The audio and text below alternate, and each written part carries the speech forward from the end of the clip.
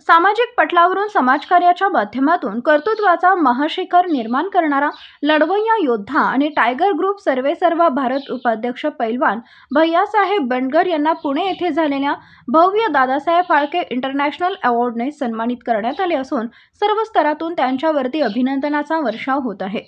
तर मोठ्या प्रमाणात त्यांना पुढील कार्यासाठी शुभेच्छा देण्यात येत आहेत. प्रतिष्ठेच्या सर्वोच्च शिखरावरील तरुण तडफदार आणि झुंजार असे व्यक्तिमत्व असलेले पैलवान भैयासाहेब बंडगर यांनी सामाजिक क्षेत्रामध्ये आणि समाजकार्यामध्ये प्रचंड मोठा ठसा उमटवला आहे. टायगर ग्रुपच्या माध्यमातून समाजसेवेच्या डरकाळीचा प्रभाव अखंड महाराष्ट्र राज्याच्या पंचक्रोशीत प्रसिद्ध झाला.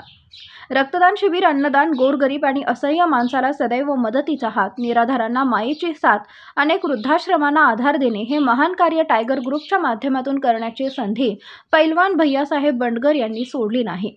आणि हेच त्यांचे कार्य सार्थक ठरले असून त्यांना दादासाहेब फाळके इंटरनॅशनल पुरस्काराने सन्मानित करण्यात आले. त्यांना मिळालेल्या पुरस्काराबद्दल प्रदेश काँग्रेस युवक सरचिटणीस महाराष्ट्र राज्य व स्वाभिमानी ब्रिगेडचे संघटनेचे संस्थापक अध्यक्ष रोहन सुरवसे पाटील यांनी प्रसारमाध्यमांच्याद्वारे शुभेच्छा देताना म्हणाले की सामाजिक पटलावरील अत्यंत रुबाबदार दिलदार आणि दयावान असणारे अष्टपैलू व्यक्तिमत्व भैयासाहेब बंडकर यांचे कार्य महान आहे.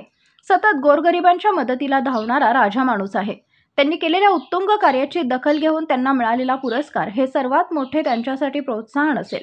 यापुढील काळात त्यांच्या हातून सामाजिक कार्याचा महासागर निर्माण व्हावा अशी मी त्यांना आदरपूर्वक आणि हृदयपूर्वक शुभेच्छा देतो.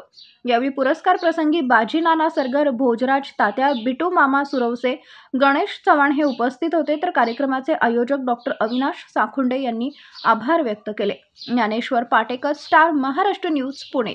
नवनवीन घडामोडी पाहण्यासाठी स्टार महाराष्ट्र न्यूजला सबस्क्राईब करा आणि ताज्या बातम्यांचे अपडेट मिळवण्यासाठी बेल आयकॉनला प्रेस करा. आणि परिपूर्ण बातमीबरोबर रहा इतरांपेक्षा एक पाऊल पुढे.